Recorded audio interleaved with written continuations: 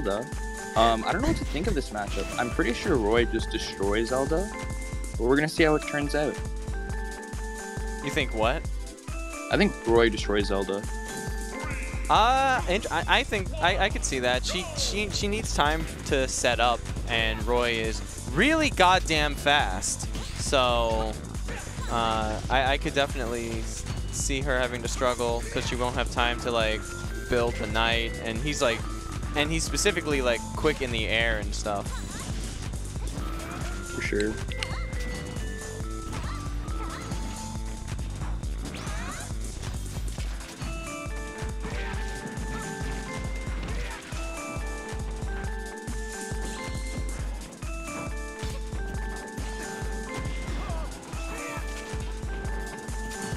I think the one thing Zelda has in this matchup is probably edge guarding.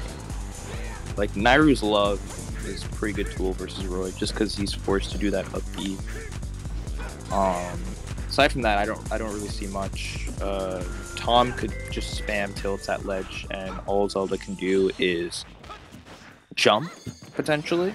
But then Tom can cover that with like a bair or a fair. Mm-hmm. And I suppose like SaurDeux could probably go off ledge and then recover in some other like creative way. Overall, I just feel like Roy has all the tools to cover all the different mix-ups Zeldas typically do. Regardless, like flowchart Zelda. Regardless, though, SaurDeux's doing a really good job of keeping this really even. And honestly, like both of these characters, while it might be easier for Roy to like hit harder, like uh, she definitely has access to strong tools. But Tom is going to get the first kill, uh, just kind of doing a long, a large full hop to cross up with the back air. But wasn't able to get too much from it because Sarato just read a jump and went kaboom. Sent him right off the top. All right, but ever since coming back, uh, SaurDeux hasn't been able to get any hits in. Tom is just just got the pattern going right now. All right, Yeah, finally gonna get stuffed a little bit. I love that little movement on the platform too. When Tom was on the mid plat, he was just like dashing back and forth, dashing back and forth. He's like, "Ooh, are you gonna neutral B here? Are you gonna neutral B here?" That's like the best way to bait it.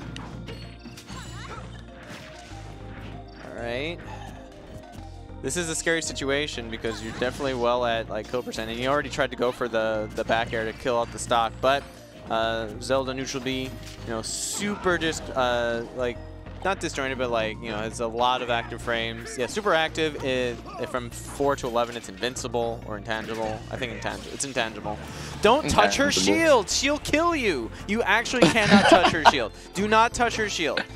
So the thing is, you can't touch her shield, but she can't touch your shield because like if you have out of shield options, then her moves are actually like pretty slow, you know. But but don't think you can do that. Look, see, touched her shield and she spun on him. And now what was looking as like a pretty good lead for Tom has turned into a pretty okay lead for SaurDeux. If SaurDeux gets some damage like that, uh-oh, don't die, might die, didn't die. Uh, yeah, now we got a pretty solid position for him. SaurDeux doing a phenomenal job right now, having Tom at kill percent. And if he lands on the shield once, I think that might have killed death. on a regular stage, but uh, gonna be living a little bit longer. he actually juked. He actually juked. He was like, look at the knight. Just pay attention to the knight. Pay no attention to the princess right here. And, uh, goddamn. Look at this. He was just like, look at the knight. Yeah, look at the knight. Look, look, it didn't go anywhere. Boom, idiot. I got you. Wow. I didn't clip all the. Oh my god, I missed a that bunch of clips. very sneaky.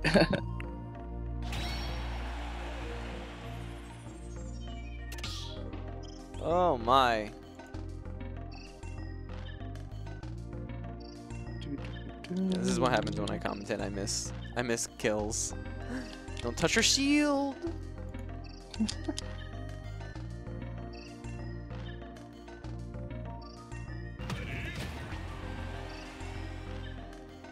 Man, how are you? Oh, hey, how you doing? oh, hello. All right. Uh, Hey, Gretch. on XeNO Wi-Fi, Yeah. and with a character I happen to know a little bit about. yeah. And uh, Z, good to see you. Or nice to meet you. I don't know that I've met you before. But hello. Uh, nice to meet you. Uh, so I actually did hear you talking a little bit because I was over in the Twitch chat before. Um, Roy does win this uh, in a lot of ways on stage, but like we said off stage, he sort of has problems. Uh, this is not as nearly as bad as Chrom. Chrom, when he gets off stage against Zelda, pretty much just dies because uh, Phantom like always trades in his favor. But Certainly. uh, what you did say also about the tilts is absolutely correct. There's very little Zelda can do with a well-spaced Roy that just kind of like presses jab and forward tilt at the ledge. So a lot of this game, I imagine, will be the uh, Roy winning neutral. Zelda will be at the ledge, and then he'll get back, and then it'll come down to a ledge uh, setup situation.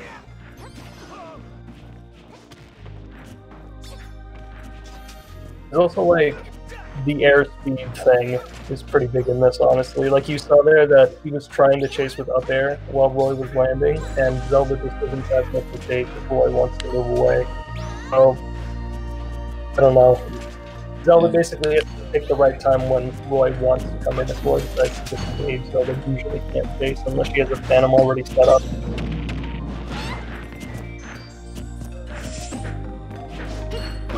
Yeah, and we've been seeing like just Tom running around, not really much of a care in the world, as Zelda just has, or just hasn't had the mobility to really keep up.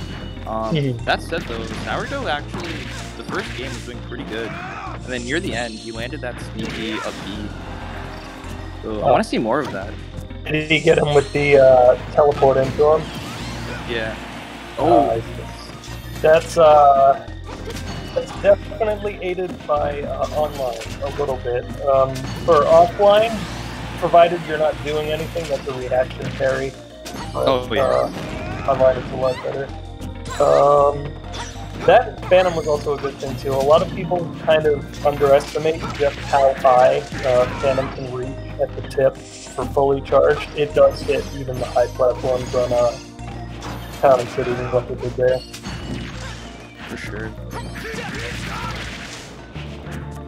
Downward slash damage. Oh, that was unfortunate. SaurDeux had the up tilt. Uh, SaurDeux had an up tilt and it just hit him completely the wrong direction, and then he got punished for it. Kind of unfortunate, but good stuff on Tom. I missed it. Did he get the uh, noodle hitbox, or did it just send in a different direction than normal? I think was. Oh, was that it Not- right there? Yeah, that was it right there. I think it was just different direction.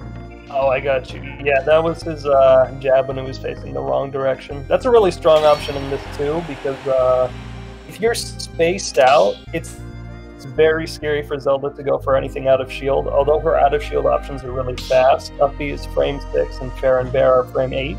Uh, if they're not like in you with the up B, it doesn't always hit, and even if it does hit, they can hit the sour spot of the second hit. And then I Fair see. Bair, if they hit the sour spots, is unsafe on hit.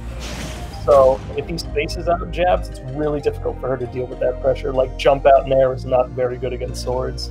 Oh, definitely. Trading with it sucks. And that was good coverage too. If he had walked in too much, he would have eaten me up there. The common trap like that. All right. After that fast little replay, we're now on Kalos. yeah, I'm glad that was the replay. I thought I was like bugging out with him a little bit. Oh, that's a good chase. Hyperspeed. I normally don't see records for chase there, but that's a pretty active hitbox you can put out, so that's not a bad idea.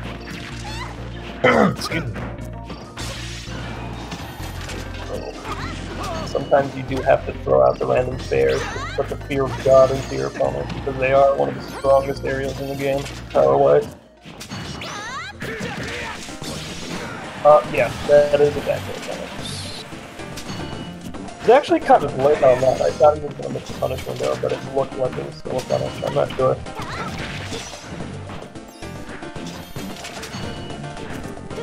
Yeah, Roy's got the right idea here too. So whenever uh, Phantom is coming online, if he doesn't want to be in the mix-up range, uh, the optimal place that Zelda wants you to be is right where uh, the uppercut sort of starts going vertical for the final charge, because that lets you do all sorts of mix on you if you stay put in that area.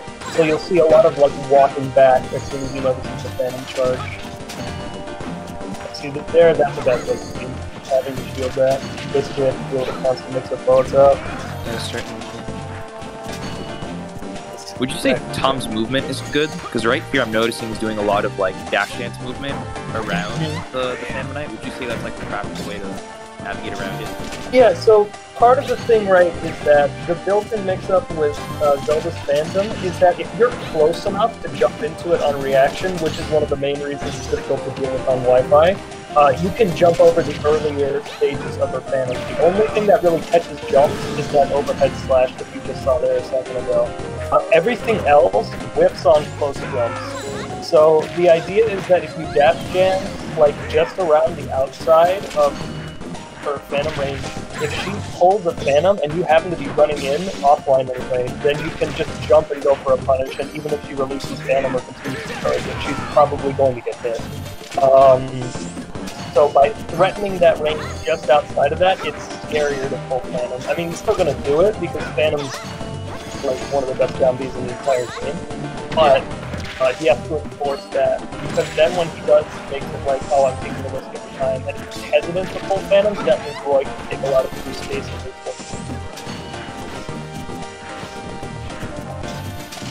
and. See, like that, that chance right there is really good. You probably could have done run out of shield option with this punish, but it's just going to react to that situation.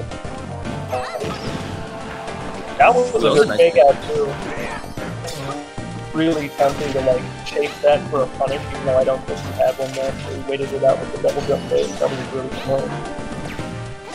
And what you saw just there, him running up and getting the grab, him running up and getting the grab is part of the mix. Because obviously, like, if you have Phantom out there, you don't want to get hit by Phantom. Phantom sucks Yeah. to get by. Uh, if you shield that, and you're at that range right there, Zelda gets grabbed and stuff. And Zelda's grab, frame data wise, is kind of awful, but she has a combo throw and two kill throws that mix up with each other DI wise. Uh, Do you think- so you don't do you want to enable spot her that way.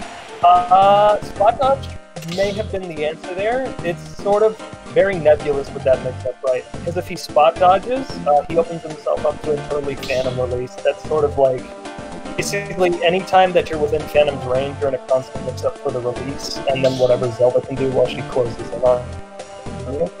Um, but I think Spot Dodge might have gotten out of that situation. He could have also rolled in, honestly. A late roll in because uh, Phantom wasn't quite within range. He might have rolled the spot. See, he didn't actually hit his shield there. Though if it did, Zelda does of it, which is really good. And then the forward smash there, if he had neutral gotten up and shielded, it's kind of hard to punish at that range for a lot of characters.